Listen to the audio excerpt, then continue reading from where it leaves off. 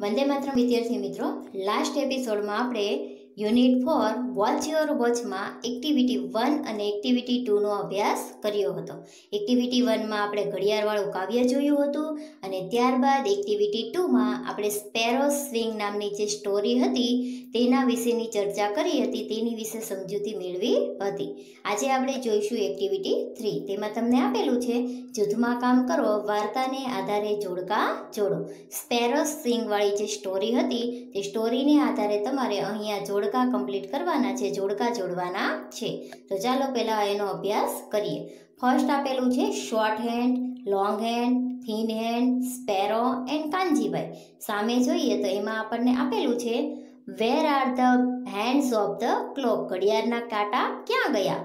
ત્યારબાદ આપેલું છે આઈ રન ફાસ્ટ હું ઝડપથી દોડું છું. નેક્સ્ટ આપેલું છે આઈ એમ ઓલ્સો ઇમ્પોર્ટન્ટ કે હું ખૂબ જ મહત્વનો છું. હું પણ મહત્વનો છું.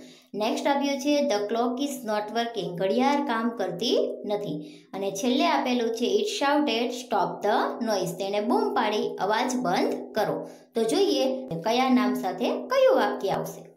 જોઈએ ફર્સ્ટ આપેલું છે શોર્ટ હેન્ડ કલાક કાંટો. એ શું કહ્યું? શું કહેતો હતો કલાક કાંટો? તો એમાં આવશે last sentence it shouted stop the noise તેણે બૂમ પાડી, તમારો અવાજ બંધ કરો. નેક્સ્ટ આપેલું છે લોંગ હેન્ડ તો લોંગ હેન્ડ શું કહે છે? મિનિટ કાંટો? Yes I am also important કે હું પણ ખૂબ જ મહત્વનો છું. ત્યારબાદ આપેલું છે થીન હેન્ડ એટલે કે સેકન્ડ કાંટો. તેણે શું કહ્યું હતું? આઈ રન ફાસ્ટ કે હું ઝડપથી દોડું છું.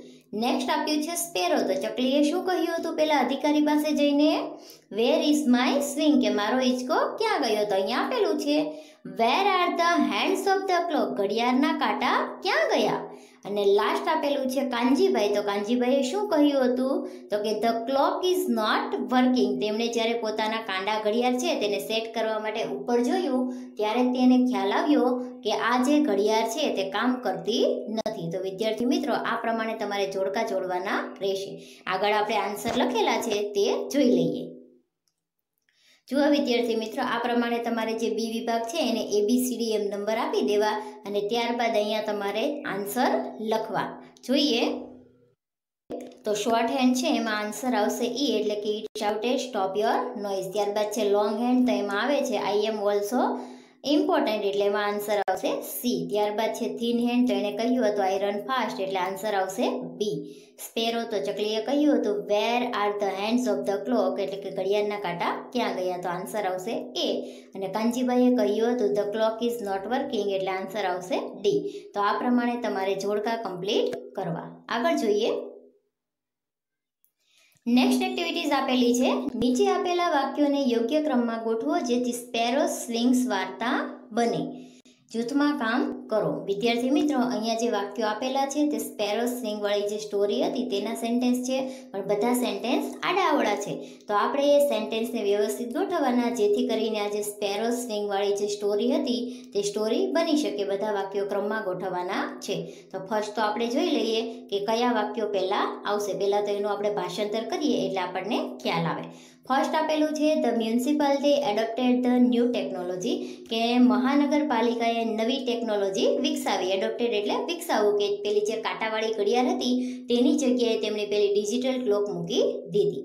સેકન્ડ આપેલું છે the short hand kicked out the minute hand and the second hand કલાક કાંટાએ મિનિટ કાંટા અને સેકન્ડ કાંટાને લાત મારી. નેક્સ્ટ આપ્યું છે sparrow complain why did you take off my swing ચકલીએ ફરિયાદ કરી કે તમે મારો હિંચકો શા માટે લઈ ગયા? આગળ આપેલું છે the thin hand declare that it works more second કાંટો એવું કહે છે, એવું જાહેર કરે છે કે પોતે સૌથી વધારે કામ કરે છે.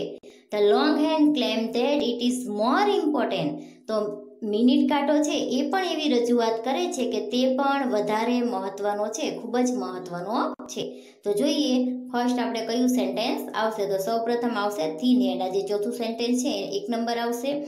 કે સેકન્ડ કાંટો કહે છે કે તે સૌથી વધારે કામ કરે છે, તો જ્યારે બે છેલ્લું વાક્ય છે એને બે નંબર આપવાના છે the long hand claim that it is more important એટલે મિનિટ કાંટો છે એ પણ કહે છે કે તે સૌથી વધારે મહત્વનો છે. ત્યારબાદ આવશે આ જે બીજું સેન્ટેન્સ છે, એમાં આવશે ત્રણ નંબર કે શોર્ટ હેન્ડે કલાક કાંટાએ મિનિટ કાંટા અને સેકન્ડ કાંટાને લાત મારી. ત્યારબાદ આવશે પહેલું સેન્ટેન્સ છે એ ચોથું સેન્ટેન્સ આવશે.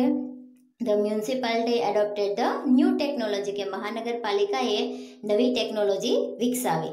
અને લાસ્ટ જે ત્રીજું સેન્ટેન્સ છે તેને પાંચ નંબર આપવાનો છે સ્પેરોએ કમ્પ્લેન કરી કે તમે મારો હિંચકો શા માટે લઈ ગયા? વિદ્યાર્થી મિત્રો, આગળ આપણે આ જે એક્ટિવિટી છે તે કમ્પ્લીટ કરેલી છે તો એકવાર જોઈ લઈએ.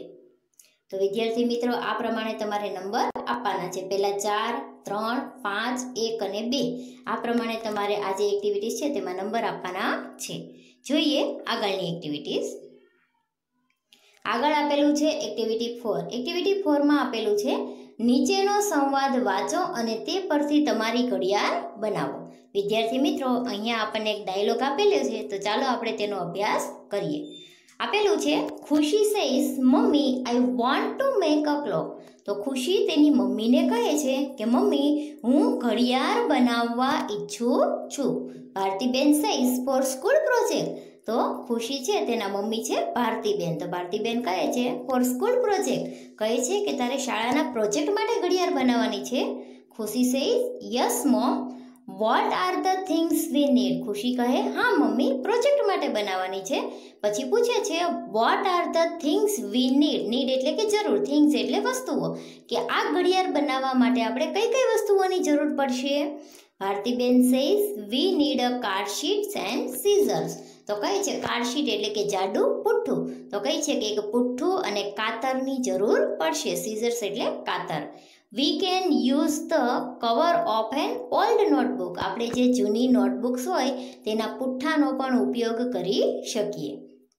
Khushi says here are the notebooks cover and the scissors તો ખુશી કહે છે, આ રહ્યું નોટબુકનું પુઠ્ઠું અને કાતર. I like a square face clock square એટલે ચોરસ. તો કહે છે કે, મને ચોરસ મોંવાળી ઘડિયાળ ગમે છે. ફેસ એટલે મોં અને ક્લોક એટલે ઘડિયાળ. કે ચોરસ ચહેરાવાળી ઘડિયાળ ગમે છે. આગળ જોઈએ. આગળ આપેલું છે, Bharatiben says fine then cut the card in the square shape તો કહે છે, સારું. તો પછી તારે આ જે પુઠ્ઠું છે તે સ્ક્વેર શેપમાં એટલે કે ચોરસ આકારમાં કાપ. Use a scale dear scale એટલે માપપટ્ટી તો તારે આના માટે ફૂટપટ્ટીનો ઉપયોગ કરવો. ચોરસ આપણે ઘડિયાળ કટિંગ કરવી હોય તો ચારે બાજુ એક સરખું માપ લેવું પડે. તેથી તેની મમ્મી કહે છે કે તેના માટે તારે સ્કેલ યુઝ કરવી જોઈએ.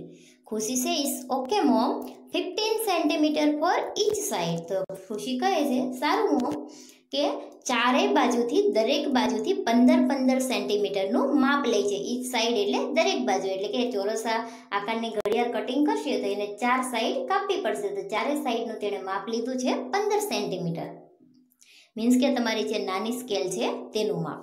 ભારતીબેન સે ધેટ્સ ફાઇન ખૂબ સરસ. Now decide the centre of the square and mark it with a pencil Bharatiben કહે છે, સારું, ખુશીએ જે ચોરસ આકારનું છે, તે ચોરસ આકારનું ખોટું કટિંગ કર્યું છે. તો હવે એની મમ્મી કહે છે decide the centre of the square ચોરસની બરાબર વચ્ચે કેન્દ્ર નક્કી કરો. જ્યાં આપણે કાંટા જોઈન્ટ કરવાના છે, તે બરાબર સેન્ટર નક્કી કરો and mark it with a pencil અને તેને પેન્સિલની મદદથી માર્ક કરવું એટલે કે ટીક કરવું. આ રીતે ચોરસ આકાર કમ્પ્લીટ કરવાનો, વચ્ચે માર્ક કરવાનું છે આ પ્રમાણે, નિશાની કરવાની છે, ટપકું કરવાનું છે. Khushi says okay, but what about the hands? Khushi કહે, સારું. પણ કાંટાનું શું? કાંટાનું શું કરીએ? કાંટા કેવી રીતે બનાવવા? Bharatiben says use the waste dear તો ભારતીબેન કહે વેસ્ટ એટલે કે આ જે વધારાનું નકામું પુઠ્ઠું છે, તેનો ઉપયોગ કર. હવે જે વધારાનું જે નોટબુક હતી, તે નોટબુકનું પુઠ્ઠું વાપર્યું હતું, એમાંથી ચોરસ તો કટિંગ કરી લીધું. તો એની આજુબાજુની સાઈડની જે પટ્ટીઓ વધી હશે, તેનો ઉપયોગ કરવાનો છે આ કાંટા બનાવવા માટે. એટલા માટે કીધું છે યુઝ ધ વેસ્ટ ડિયર કે વધારાનું જે નકામું પુઠ્ઠું છે, તેનો ઉપયોગ કર. Cut them with a one side arrow તો કહે છે કે જે પુઠ્ઠું છે, જે પટ્ટીઓ છે, તે પટ્ટીઓને એક સાઈડ એરો હોય, એક સાઈડ તીર હોય, તે આકારની કાપ. જે કાંટા બનાવવાના છે, તેના માટે તેણે એક સાઈડ એરો તીરની નિશાનીવાળો કાંટો બનાવવાનો કહે છે. Don't forget we need a three hands કહે છે ડોન્ટ ફોરગેટ ભૂલતી નહીં. ફોરગેટ એટલે ભૂલી જવું ને ડોન્ટ એટલે કે ન ભૂલતી. ભૂલતી નહીં કે we need a three hands કે આપણે ત્રણ કાંટાની જરૂરિયાત છે. Khushi says, oh yes mama, I know minute hand and hour hand and a second hand Khushi કહે આઈ નો એટલે કે હા હું જાણું છું. મિનિટ કાંટો કલાક કાંટો અને સેકન્ડ કાંટો આ ત્રણ કાંટાની જરૂરિયાત છે. Bhartiben says that is correct Bhartiben કહે તે સાચું છે બરાબર છે. આગળ જોઈએ. નેક્સ્ટ આપેલું છે Khushi says hands are ready now time to mark the time Khushi કહે, કાંટા તૈયાર છે.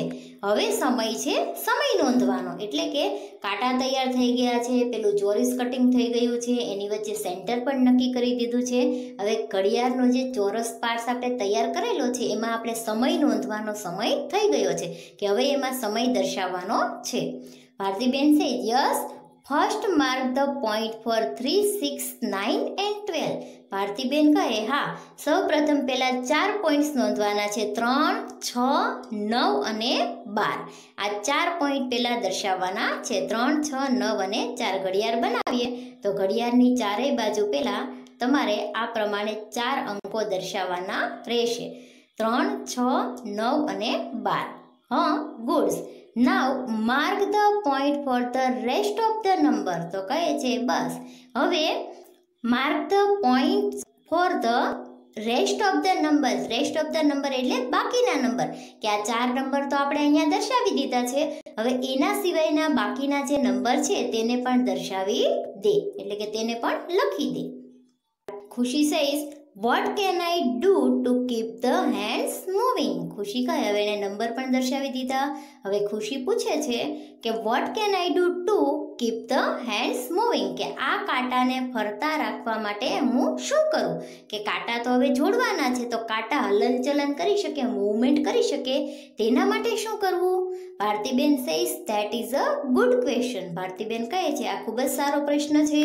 યુ ગેસ ફર્સ્ટ સૌ પ્રથમ તો તું તાર, તું અંદાજ લગાવ કે કાંટાને જોઈન્ટ કરવા માટે આપણે કઈ કઈ વસ્તુઓનો ઉપયોગ કરી શકીએ. ખુશી છે, હા a pin thorn and what else Khushi કહે, હા, પિન એટલે ટાંકણી, થોન એટલે કાંટા. ટાંકણીનો ઉપયોગ કરી શકીએ, કાંટાનો ઉપયોગ કરી શકીએ. એન્ડ વોટ ઇલ્સ બીજું શું વાપરી શકીએ? એની મમ્મીને પૂછે છે. ભારતીબેન સહી સ્ક્રૂ ઓલ્સો. તો કહી છે કે, આપણે સ્ક્રૂ પણ વાપરી શકીએ. જે આટાવાળી ખીલ્લી આવે છે, તેનો પણ આપણે ઉપયોગ કરી શકીએ કાંટાને જોઈન્ટ કરવા માટે. ખુશી છે? Yes a screw oh wow my clock is ready Khushi કહે, હા સ્ક્રૂ અને તે સ્ક્રૂ વડે કાંટાને જોડે છે અને કહે છે, વાવ, મારી ઘડિયાળ તૈયાર છે. Bhartiben says well done dear ખૂબ સરસ now you can decorate as you wish કહે છે કે હવે તું તારી ઈચ્છા પ્રમાણે આ ઘડિયાળને ડેકોરેટ કરી શકે છે, શણગારી શકે છે. નંબર લખી દીધા છે, ત્યારબાદ કાંટા જોઈન્ટ કરી દીધા છે. આ પ્રમાણેની ઘડિયાળ તૈયાર થઈ જાય છે. તો હવે ભારતીબેન કહે છે, હવે તું તારી ઈચ્છા પ્રમાણે આ ઘડિયાળને ડેકોરેટ કર. ખુશી છે yes mamma here is a poem I learnt at school Khushi કહે, હા મમ્મા અહીં એક કાવ્ય છે જે અમે શાળામાં શીખ્યા હતા. તો નીચે તમને એક કાવ્ય આપેલું છે જે ખુશીને તેની શાળામાં શીખવવામાં આવ્યું હતું. જોઈએ. જો આપેલું છે listen and sing with me કહે છે, સાંભળો અને મારી સાથે ગાઓ. અહીંયા તમને કાવ્ય આપેલું છે a new card clock with a friendly face makes our house તો કઈ છે? A new card clock with a friendly face જાણે કે મિત્રતા વાળો ચહેરો મૈત્રીભાવ વાળો ચહેરો હોય તેવી એક પુઠ્ઠાની ઘડિયાળ તૈયાર છે makes our house happy place કે જે આપણા ઘરને ખુશખુશાલ બનાવે છે. કે આ પુઠ્ઠાની કાર્ડ ક્લોક મિત્ર જેવા ચહેરાવાળી પુઠ્ઠાની ઘડિયાળ તૈયાર છે, જે આપણા ઘરને ખુશખુશાલ બનાવે છે. It ticks and talks to us all day no matter if we work or play. આપણે કામ કરતા હોઈએ કે રમતા હોઈએ, ત્યારે આખો દિવસ આ ઘડિયાળ આપણી સાથે વાતો કરે છે. આ જે કાવ્ય છે, તે કાવ્યનો અર્થ થાય છે કે મિત્રતાપૂર્ણ ચહેરાવાળી પુઠ્ઠાની ઘડિયાળ તૈયાર છે, જે આપણા ઘરને ખુશખુશાલ બનાવે છે.